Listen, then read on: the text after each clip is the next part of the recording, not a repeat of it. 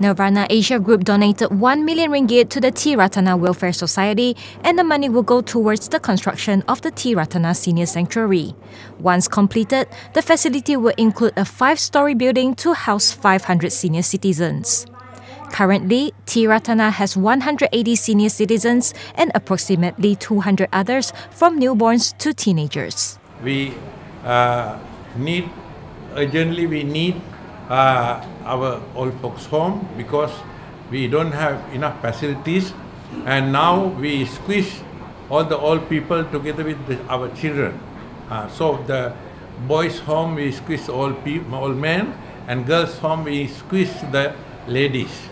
That's why even uh, with the big demand, people want to come, but unfortunately at this moment, bit difficult uh, for us to accept additional old people. Apart from financial aid, Nirvana Asia Group founder Tan Sri Kong Hon Kong said the bereavement company also provides 500 free space for placement of ashes or cremated remains in urns to Ti-Ratana through its Love and Care program.